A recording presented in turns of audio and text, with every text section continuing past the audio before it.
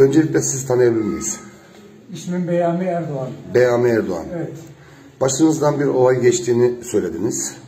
evet. Nedir? Anlatır mısınız? Efendim 2012 yılında Büyükşehir Belediyesi Halk Ekmek Bayisi'ni Allah razı olsun Melik Gökçek zamanında aldım. Evet. 2017'de 7. ayında e, süresi bit- bitmek üzereydi. Evet. Halk Ekmek Bayisi beni çağırdı. Yenileceğiz dediler. Sana memnunuz dediler. Evet. Kaç senedir siz çalıştırıyordunuz büfeyi? 5 sene. Evet. 5 sene çalıştırdım. Evet. Ben sizden memnunuz de- dediler. Bayiyi tekrar sana vereceğiz dediler. Evet. Benden bütün evrakları A'dan Z'ye sıfır olarak ilmi haberde, ikamet verdi, fotoğraflı şeyler falan hepsini istediler. Evet. Bir hafta sonra ben evrakları götürdüm. Evet. Götürdüğümde orada bana şu şok bir e, ha- haber verdiler. Dediler ki bayi sana vermiyoruz. Neden diye sordunuz mu? Nedeni diye sordu. Teşkilat başkanlığı yapıyordu. E, Onun aldığını öğrendim. Evet. Oradan e, Büfeyi kime vermişler? Halk ek- ekmek büfesini kime verdi, vermişler? E, Sincan, Sincan Pa- Parti e, Teşkilatı'ndan bir vatandaşa vermişler. Evet. Ve e, araştırma yaptım, e, partiye vardım. Ben de aynı zamanda parti mensubuyum. Aynı partinin mensubuyum. Evet. E, Bana dediler ki araştıracağız dediler. Ondan sonra araştırdım, e, bekledim. Herhangi bir şey yok. Bir e, ile gittim, bizim araştırma yaptım. Evet. Ondan sonra e, bu teşkilat başkanının aldığını öğrendim. Fa- Fakat bütün kapılar kapandı. Evet. Ben bir şey olamadım. O anda da bana bu sözü verdikleri için bir içerisinde ben bir ev aldım. Evet. Ben emekli maaşım o zaman 1750 liraydı. Evet. Ben 1250 liralık bir taksite girdim.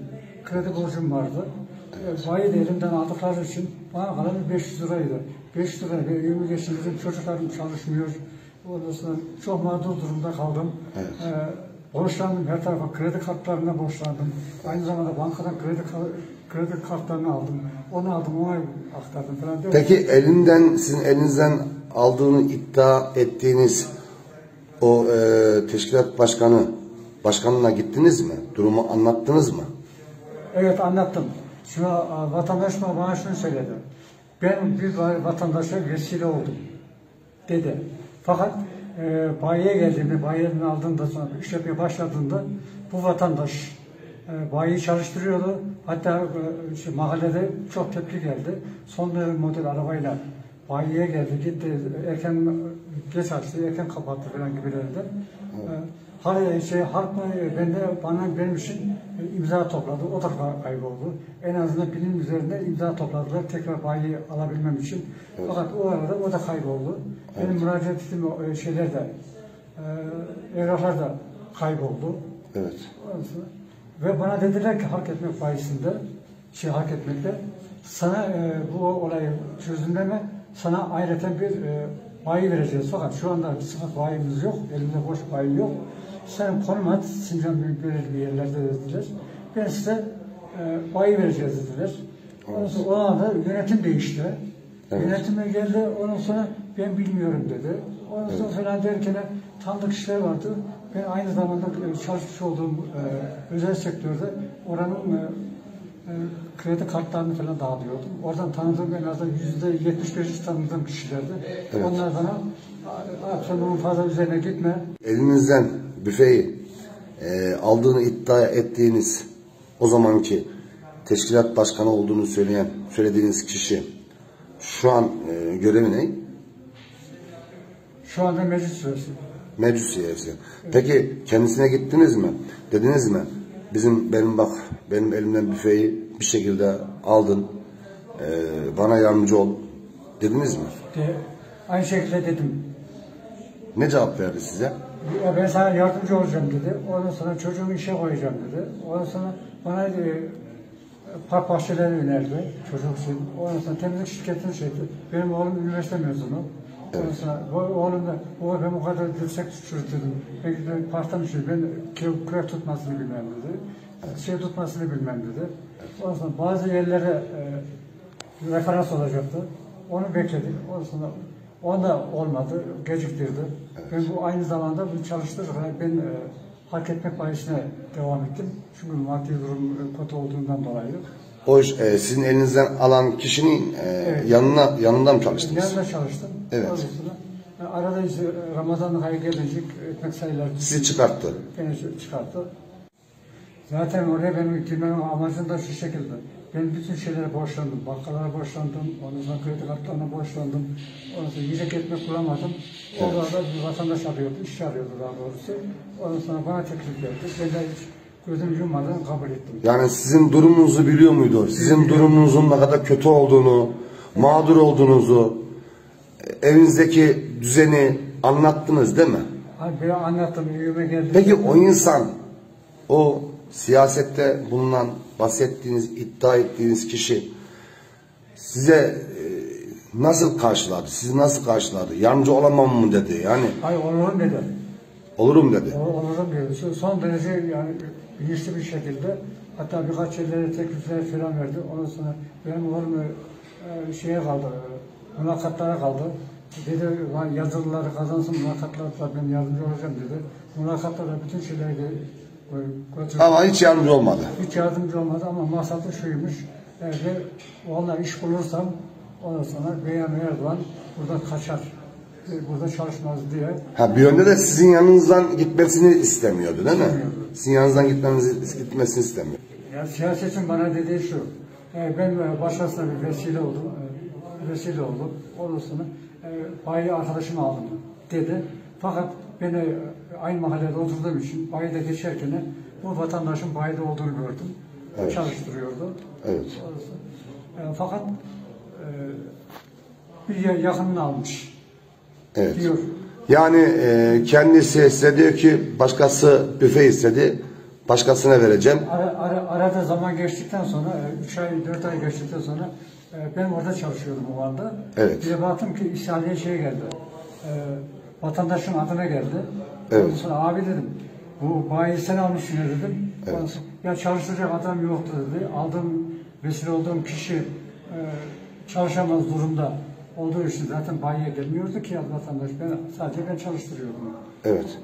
Bu, o e, herhangi bir işlem yapamazdı. Büfe şu anda kimin üzerine? Halk ekmeği. Fark etmek şu böyle bahsettiğim vatandaşımın üzerinde. E, bu yıllar önce siyasette bir siyasi partide görev yapan onun üzerine mi? Evet.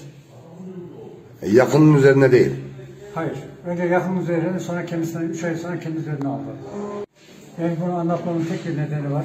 Ben bu bay- başım bir şey yandı, başkasının şey olmasın. Beni şu anda ben de artık geldim geçti. Ben e, bu yaşta şey olmam. Ben oğlum için uğraşıyorum. Evet. Oğlumun bir herhangi bir işe girmesini, bir Allah'ın izniyle inşallah e, bu videoyu izleyen bir iş adamı olsun. Senin oğluna mutlaka yardımcı olacaktır. İsteğin oğlunun işe girmesi mi? Evet. e, Ne mezunu oğlunuz? Oğlum e, makine teknik ressam e, iki yıl üniversite. İki yıl üniversite bitirdi. Evet. Makine teknik ressam. Evet. Ve oğlum o kadar e, zor duruma kaldı ki neredeyse psikoloji bozulacak.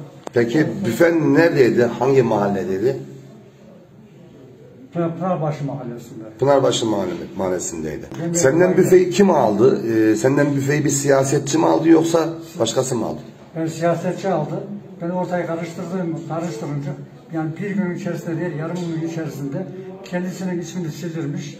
E, Kendisinin ismini sildiriyor. e, sildirmiş. Yakının ismini. e, Yakınının bir ismini yazdırmış ama hak etmek bayisinin sözleşmesi anlaşmasında öyle bir herhangi bir durum yok.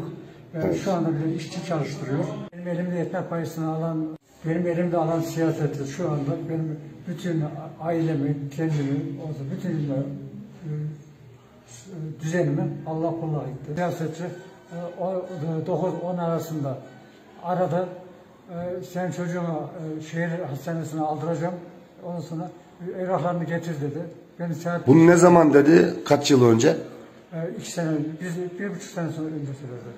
Bu zamana kadar senin şu anda evinde düzenin bozuk. O bozuk. Evet. Ve o, o şekilde bir evrakları evrak götürdük. Evet. Hala e, şehir hastanesine alacaklar.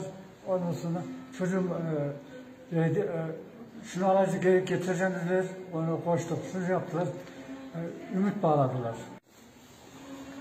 E, Buna bana öyle bir sö- sözler verdi ki, bu vermiş olduğu sözleri ben çocuğuma söyledim. Çocuğum, da ümit bağladı. Ha şimdi olacak, ha bunu söyleyecek. Şimdi e, çocuk da bana inanmıyor. Onlar da inanmıyor Evet. inancı kırıldı.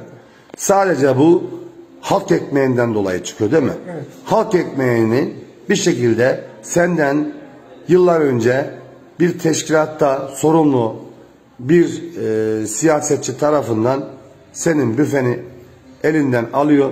En yakın benim anladığım kadarıyla en yakınına veriyor iddialarına göre değil mi? Evet. En yakınına veriyor. Daha sonra kendisi kendi tarafına geçiriyor büfeyi. Evet. Bu şekilde mi oldu? Doğru, doğrudur. Buradan ne söylemek istersin? Burada, burada tek bir şey değil mi? Yani benim ço- çocuğuma artık benden geçti. Benden geçti diyorsun, çocuğuma bir iş istiyorum diyorsun. Çocuğuma bir iş istiyorum. Başka herhangi bir şey yok. Ya benim hayatımı kararttılar. Ya çocuğumun hayatı, çocuklarımın hayatı daha doğrusu kararmasın.